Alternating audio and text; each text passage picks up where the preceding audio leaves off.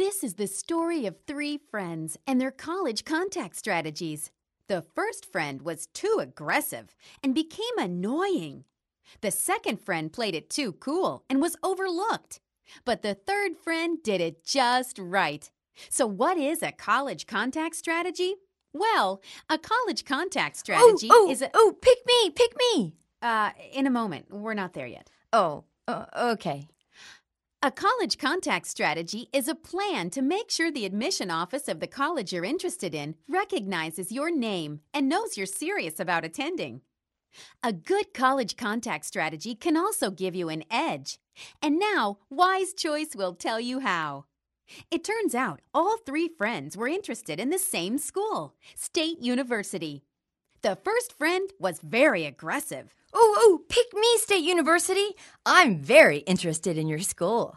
She went to alumni meet and greet programs. Oh, oh, pick me, State University alumni.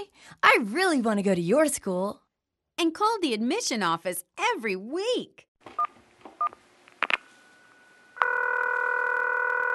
Hello, admission office? Pick me! Pick me! I want to go to State U more than anything! But her enthusiasm was too much. It overwhelmed the staff. Hello? H- hello? Anyone there? The second friend had a less aggressive strategy.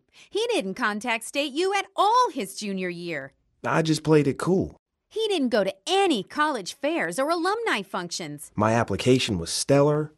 I figured that would be enough to get me noticed. And he didn't meet with any of the state university reps who came to his school. I had great grades and SAT scores, so why bother? So, when he submitted his stealth application, not one person at State U knew how interested he was in their school, or if he would even accept an offer of admission. Not one? Not one.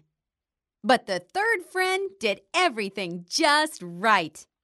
He met with his guidance counselor and started planning his strategy his junior year. He went to college fairs and met with state university reps. I asked questions about life on campus, got their business cards, and followed up with thank you notes. You did? Over the summer, he went to a couple of alumni meet and greets and had one campus tour. Just one? I also followed up with an email to let my admission contact know when I had something new to report, like when I was elected captain of the track team. They keep track of how many times you contact them, you know.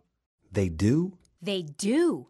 In fact, most admission offices have software to track the number of calls, emails, and contacts students have with them. If they know you're interested, they're more likely to accept you. In some cases, you could get even more financial aid. The third friend also did a lot of research and chose to have an admissions interview.